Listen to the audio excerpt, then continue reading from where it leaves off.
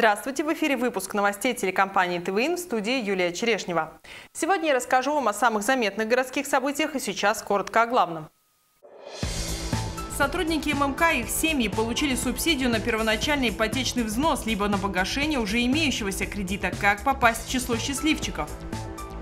Что для садоводов генеральная уборка, то для пожарных головная боль. Как сжигание травы на огородах в разы увеличивает статистику огнеборцам и что ждет нарушителей. 6-4 в матче, 1-1 в серии. «Металлург» обыграл на своем льду ЦСКА. Финал Кубка Гагарина переезжает в Москву. А сейчас об этих и других событиях более подробно. Чтобы гулять было безопасно, в Магнитогорске проводят акарицидную обработку парков и скверов. Большая часть работ уже сделана. Накануне специалисты продезинфицировали от клещей территорию сквера Собора Вознесения Господня. На месте побывала наша съемочная группа. Сквер между ареной «Металлург» и храмом Вознесения Господня – одна из достопримечательностей города. Здесь зелено и красиво, а чтобы было еще и безопасно, специалисты обрабатывают территорию от клещей.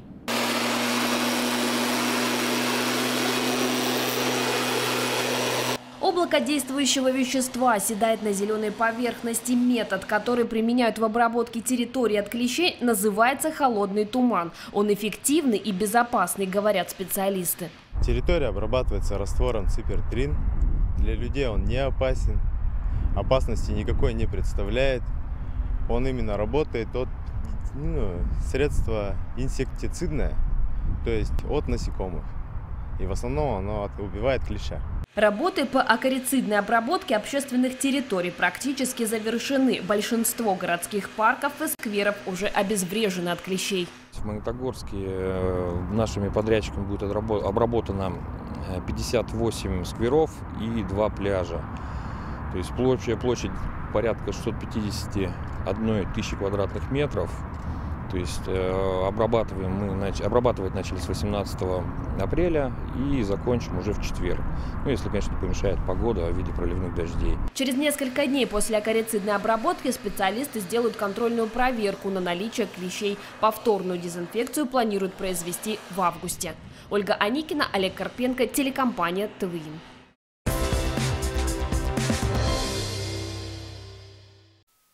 Продолжаем программу. На ММК вступила в строй еще одна система пылеподавления. Бункерная эстакада печи номер 10, где реализован экологический проект, стала первой площадкой доменного производства не только нашего комбината, но и страны, рассказывает Елена Ткач. В греческой мифологии Борей символизирует бурный северный ветер. В современном мире инженерные установки промышленной академии Борей способны справиться с тучами пыли, которые обычно сопровождают металлургический процесс. В настоящее время на ММК в эксплуатации находятся 15 установок пылеподавления. 8 в ЦПH, 4 на коксохимическом производстве, по одной установке в листопрокатных цехах 4 и 10, а теперь и в Домином на бункерной эстакаде печи номер 10. Инженерное решение помогает бороться с пылью во время выгрузки сырья из хоппера в бункер, а также при перевозке по участку шихтоподачи до доменной печи. В среднем э, на бункерной эстакаде за 12 часов э, проходит до 20 составов. А с такой системой пылеподавления, как вы сами уже видели, а выбросы пыли при выгрузке хопперов в бункера ну, значительно снижаются. Когда происходит выгрузка состава, легким движением ноги работник приводит в движение всю систему пылеподавления, модуль который надежно спрятан под землей на нулевой отметке. Происходит запуск насосов высокого давления через форсунки, вода распыляется. Принцип э, работы данной системы заключается в следующем. То, что форсунки производят распыление воды, образуя мелкую дисперсию, э, которая в свою очередь окутывают частицы пыли и осаждают ее. 1250 форсунок, более 80 клапанов, 43 литра воды в минуту. От поставки оборудования до пуска наладочных работ прошло два месяца. Все трудности, с которыми мы столкнулись в начале реализации этого проекта, э, были то есть устранены благодаря заинтересованности обоих сторон. Так как, безусловно, компания «Борей» э, умеет создавать ценность для клиента – а наши ценности постоянные. Это уважение к окружающей среде и экологическая ответственность. Применение этой системы позволило снизить пылеобразование в контрольных точках на 80%. Работа по пылеподавлению в доменном цехе будет продолжаться и дальше. На очереди печи первая и вторая. Елена Ткач, Вячеслав Гусев, телекомпания ТВИН. Поддержка, которая позволяет реализовать свои профессиональные амбиции стимулирует карьерный рост. Семь сотрудников ММК и их семьи получили помощь по предоставлению субсидий на первоначальный ипотечный взнос либо на погашение уже имеющегося кредита. Кто может рассчитывать на такую финансовую поддержку от производства, узнавал наш корреспондент. Ксения и Дмитрий женаты второй год. Тогда же супруги решили купить собственное жилье, небольшую однокомнатную квартиру на вторичном рынке. Взяли в кредит 900 тысяч рублей. Часть ипотеки уже успели выплатить, а в этом году они получат субсидию от ММК. 300 тысяч рублей будет выделено молодой семье на погашение кредита.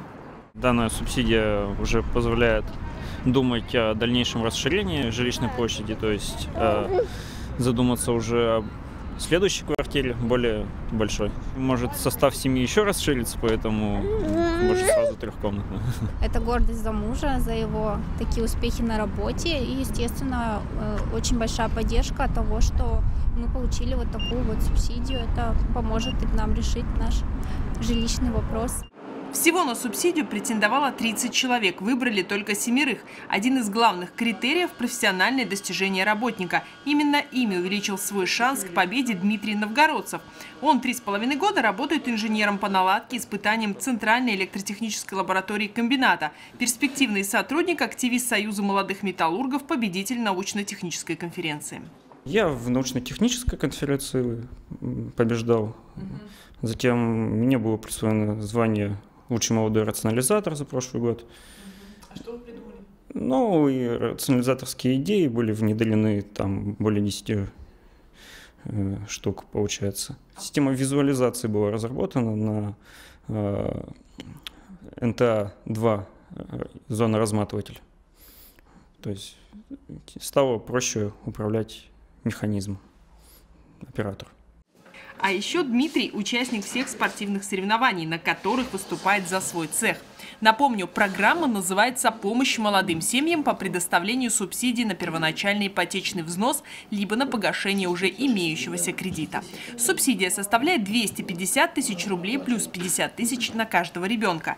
Из условий, помимо профессиональных достижений, учитываются возраст супругов до 35 лет, жилищные условия, площадь квартиры не должна превышать 18 квадратных метров на человека человека. А если молодая семья уже приобрела жилье в ипотеку, субсидию можно потратить на ее погашение. В этом году вообще даже поменяли, получается, э, правила, сделали э, на погашение действующего кредита независимо в каком банке брал. То есть если раньше строго были привязаны э, только к новым квартирам в ключе, только ипотеку через куб, в этом году сделали послабление, предложили ипотеку в любом банке и предложили даже жилье вторичное. По словам Дмитрия Новгородцева, эта субсидия – весомый вклад предприятия в потенциал своих работников. Ведь такая поддержка позволяет реализовать свои профессиональные амбиции и стимулирует карьерный рост. Юлия Черешнева, Георгий Бадаев, телекомпания «Твин». Паровоздуходувную электростанцию ММК недаром называют легкими комбината. Ее главной задачей было и остается обеспечение доменных печей дутьем нужных параметров, а также выработка тепловой и электрической энергии. Электромонтером на станции 13 год трудится Алексей Котегов. За добросовестную работу и преданность своему делу он был признан лучшим по профессии. На паровоздуходувной электростанции работают 4 турбогенератора, 4 котла блока среднего давления в 30 килограммов, 3 котла блока высокого давления в 90 килограммов, 7 воздуходувных турбин. Все это как один организм, а, что и котлы, и турбины, все это взаимосвязано. Специалисты ведут контроль за отходящими кабельными линиями, за работой генераторов, которые дают электроэнергию в общую сеть ММК, обеспечивают паром заданных параметров комбинат и воздухом, обогащенным кислородом, доменные печи. Задача Алексея Котегова – следить за состоянием электрооборудования, чтобы все системы функционировали в должном режиме. Цех большой, а, оборудования очень много. Если бывают такие накладки, что и туда, и сюда надо бегать, в общем, бывает устаешь очень сильно. Вот. Но это мелочи, это все преодолимо, как бы все мы люди взрослые. За смену Алексей проходит порядка 30 километров в рабочей сумке электромонтера. Весь необходимый арсенал инструментов, индикатор напряжения, токоизмерительные клещи. Они помогут определить наличие напряжения и перегрузку потоку. Ручной инструмент, плоскогубцы, покорезы, как бы, да, но это основное для электрика. Ну, фонарик у нас есть, вот он, модные на фонарики дали. Можно их он прикреплять куда-нибудь. Впрочем, базовым набором приспособлений хозяйственный Алексей не ограничивается. Лампочка на всякий случай с собой, мало ли, вдруг там где-то перегорело. На паровоздуходувной электростанции Алексей работает с 2010 года. Начинал в электролаборатории электромонтером релейной защиты и автоматики. С 2014 трудится электромонтером по обслуживанию электрооборудования станции. У руководства он на хорошем счету, зарекомендовал себя как ответственный и неравнодушный сотрудник. В связи с пандемией было очень трудное положение с людьми. Он буквально почти весь месяц работал без выходных. То есть из, дня в день он приходил и не плакал, не отказывался и работал. Работа у Алексея из разряда «нет права на ошибку», оплошности электричество не терпит. Потому нужно быть предельно внимательным, чтобы не допустить непоправимых ситуаций. У нас вот списочки есть, вот, где у нас запитано конкретное оборудование. Все аккуратненько, внимательно смотришь, не торопясь, обязательно не торопясь, потому что спешка это чревато последствиями. Все, убедился, произвел отключение, повесил плакат безопасности, чтобы если вдруг в дальнейшем оборудование будет э, не в работе, и когда приходит э, другая смена, чтобы они ошибочно не включили, чтобы плакатик для этого и вешается. В настоящее время Алексей осваивает обязанности старшего электромонтера. Дотошного специалиста подготавливают к новой должности, а за себя отвечает, чувствует себя на своем месте. Потому и работа приносит удовольствие. У нас очень дружная бригада, грубо говоря, как практически как семья друг друга поддерживаем, помогаем друг другу. Даже и бывает и на личном плане, если где-то помимо работы. Очень дружные. Дина Наумова, Олег Карпенко, телекомпания ТВИН.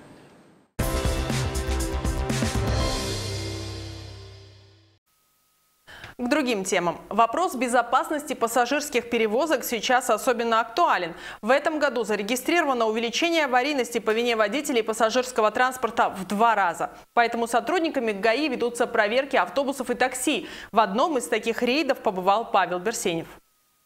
С начала этого года в Магнитогорске зарегистрировано более 70 ДТП с участием маршруток. По вине водителей пассажирского транспорта пострадали 4 человека. Многие из происшествий вызвали общественный резонанс. Так, в начале марта под колесами горе-водителя «Газели» оказалась девочка 12 лет, которая переходила дорогу по правилам, по пешеходному переходу и на зеленый свет. К счастью, ребенок остался жив по общему количеству ДТП с маршрутными транспортными средствами остается на уровне прошлого года.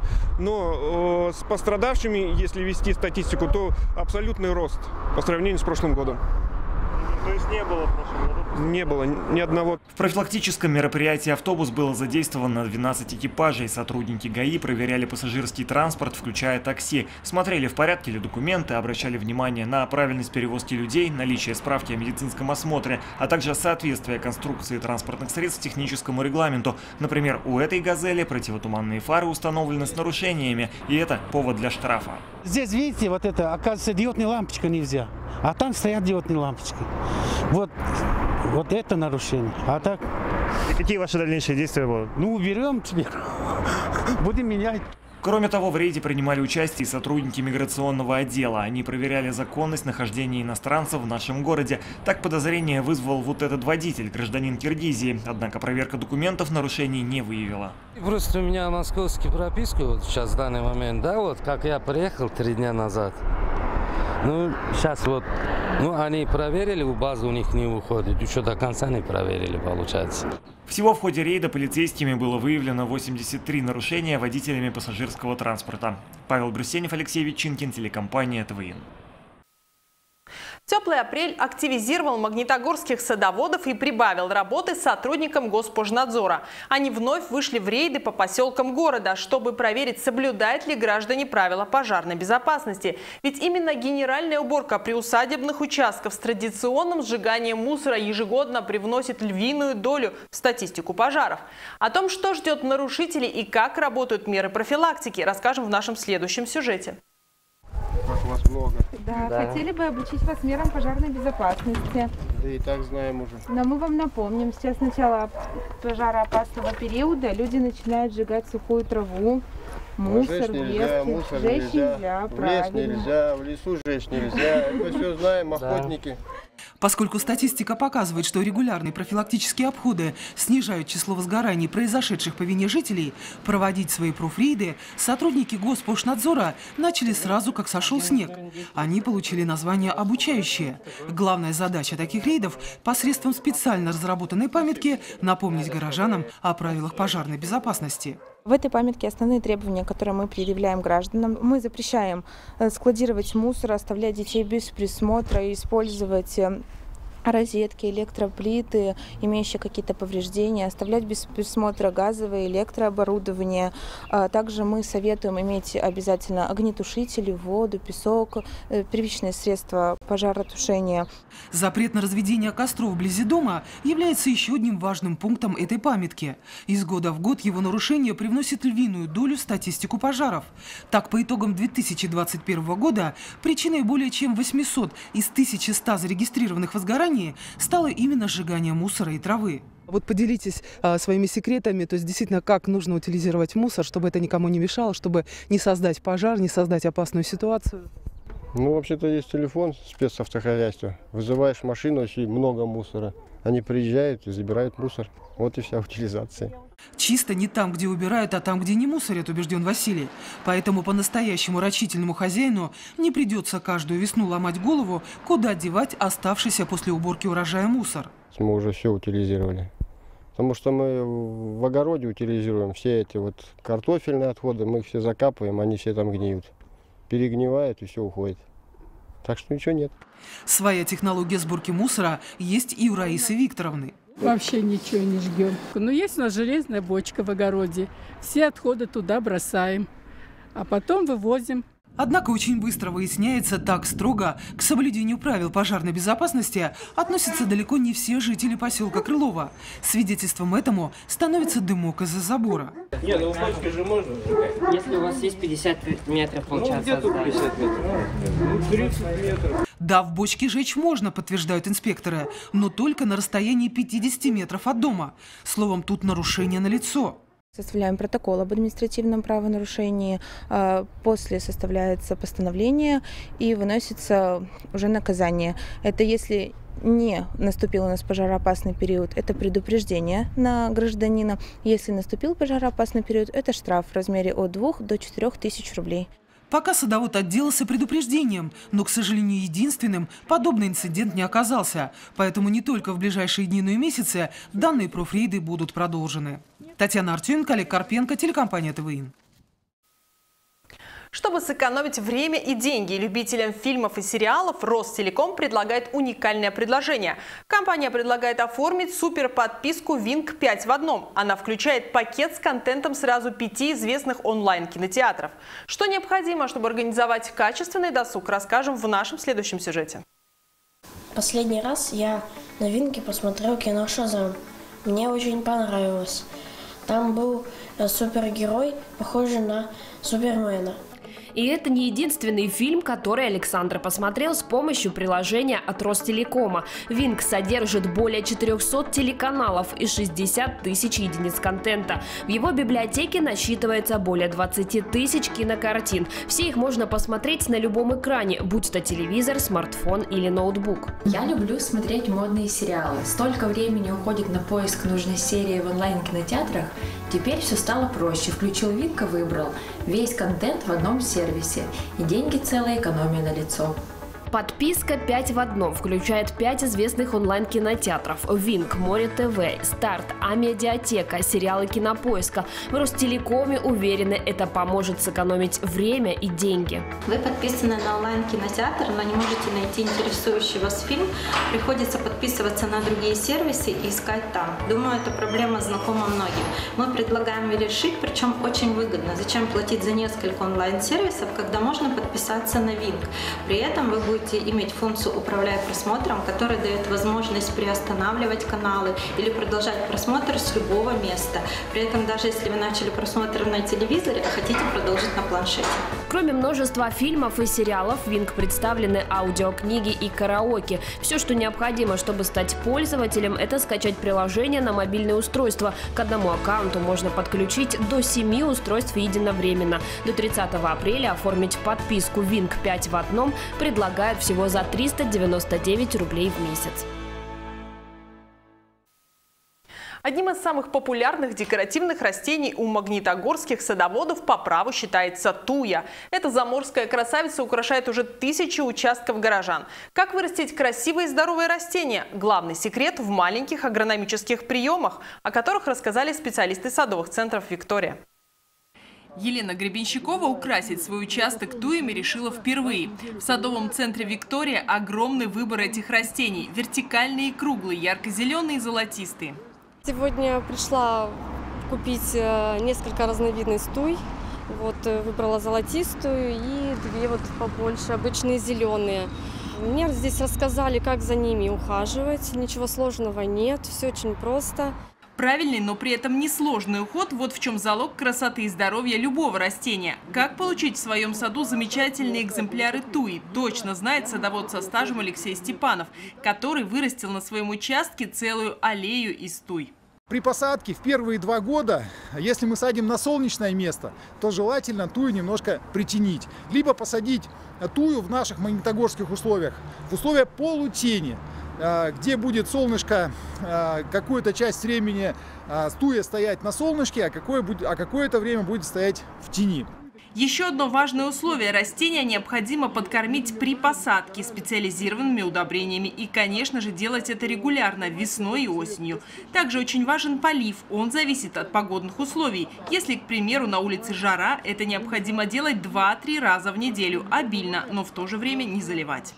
Очень важно э, для туи такой маленький агрономический прием. Это так называемое душирование туи. Мы можем взять лейку э, с э, наконечником, который достаточно мелкодисперсно распыляет, и поливать тую сверху. А, тем самым хвоинки очищаются, увлажняются. А растение напитывается влагой, помимо того, что она берет влагу от корня, она также берет влагу через хвоинки. А еще молодое растение нужно накрывать мешковиной в марте, для того, чтобы от снега не возникал эффект солнечного зайчика, который поджигает хвоинки на туях. Весной, э, когда солнце уже также хорошо светит, погода теплая, но снег еще лежит, хвоинки начинают уже испарять влагу. А корневая система находится еще в земле в замороженном состоянии. В этот момент мы очень рекомендуем пролить корневую систему не горячей, тепленькой водичкой комнатной температуры. В этот момент корни начинают оттаивать, начинают работать, и растение подкрепляется влагой уже от корня, не только от верхней части. Так что, если хотите, чтобы туя благоухала, следуйте этим небольшим агрономическим секретам. И поверьте, ваши растения отблагодарят вас своей зеленью, своей красотой и своим, э, своей непередаваемой аурой. А у меня на участке несколько туй, и поверьте, это одно из самых любимых моих растений. Юлия Черешнева, Олег Карпенко, телекомпания ТВИН. О новостях спорта через несколько секунд.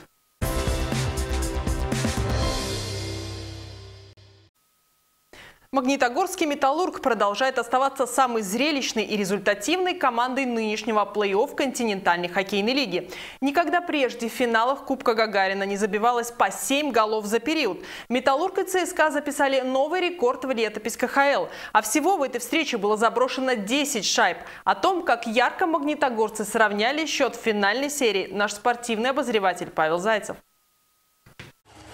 Если в первой игре армейцы сумели навязать «Металлургу» удобный для себя хоккей, то во второй уже магнитогорцы диктовали условия. Хозяева здорово проделали работу над ошибками, с первых секунд действовали агрессивно, нацеленно и довольно быстро добились успеха. Филипп Майе начал контратаку хорошим диагональным пасом на Николая Голдобина, тот оставил шайбу Артему Земчонку, первый бросок защитника соперники блокировали, а вот второй великолепно подкорректировал партнер. Майе с пятачка переправил шайбу в ворота. Василий Кошечкин в стартовом периоде отразил 12 бросков, но в дебюте следующего пропустил. Его партнеры не сумели вывести шайбу из зоны, Павел Карнаухов обокрал Максима Карпова и выдал классную передачу Виталию Абрамову. Тот с ювелирной точностью поразил дальний угол.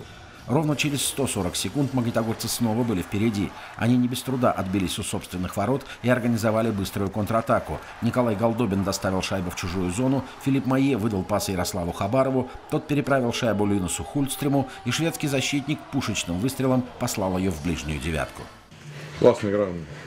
С, обеих сторон, я бы сказал так, и для зрителей. Э, очень, очень интересная, да, достойная финала. А, мы сегодня нашли пути к воротам. Увы, пути к воротам находили и соперники. Всего через 7 секунд счет снова был равным. Денис Зернов проиграл вбрасывание в центральном круге, гости быстро перешли в атаку, и Михаил Григоренко с кистей великолепно бросил в верхний угол. Но еще через 37 секунд Линус Видель, переведенный из первого в четвертое звено, сделал хороший пас от лицевого борта, и Архип Николенко прямо перед воротами классно выиграл борьбу у капитана ЦСКА 3-2. Дальше на время наступило затишье, которое прервали армейцы. Не задержавшийся в Магнитогорске дольше одного сезона Сергей Плотников здорово сохранил шайбу в зоне атаки, продавил двоих соперников и выдал пас на убойную позицию Антону Слепушеву. Тот не оставил шансов Кошечкину. Но вскоре гости ошиблись еще раз. Богдан Киселевич неудачно выводил шайбу из зоны, Анатолий Никонцев остановил ее и переправил Максиму Карпову, который сделал роскошную передачу Денису Зернову. Завершающий бросок был столь же великолепен, как весь розыгрыш. 4-3. Голкипер ЦСКА и сборной России Иван Федотов впервые в карьере пропустил более трех шайб в матче плей-офф. Здорово то, что много голов забили, но и много пропустили. Тоже есть над чем работать. Завтра будем разбирать ошибки. Но и это было еще не все для Федотова. Итог второго периода подвели магнитогорские канадцы. Филипп Майе совершил перехват у чужой синей линии и нанес бросок, после которого Брэндон Лайпсик продемонстрировал завидную расторопность и мастерство. Он не только первым успел к шайбе, но и попал по ней с лету. А на 54-й минуте главное ударное звено «Металлурга» отличилось еще раз. Лайпсик лихо выбил шайбу у соперника, Майе начертил очередную мастерскую диагональ на Николая Голдобина, и тот выдал эффектное соло в зоне гостей. Последнее слово в игре осталось за армейцами. Василий Кошечкин нарушил правила, и ЦСКА с третьей попытки реализовал большинство. Итог 6-4 в матче, 1-1 в серии. Финал Кубка Гагарина переезжает в Москву. Прямые трансляции третьей и четвертой игр смотрите в нашем эфире в пятницу в 21 час 15 минут и в воскресенье в 18 часов 15 минут. Павел Зайцев, телекомпания ТВИН. И это все, о чем успели рассказать вам сегодня, о новых местных событиях в следующем выпуске информационной программы «Время местное». Новости этого выпуска, а также многое другое вы найдете в наших группах в социальных сетях и на нашем сайте tvdefisin.ru. Впереди вас ждут полезные коммерческая информация, а также прогноз погоды на 22 апреля. Всего доброго и до встречи!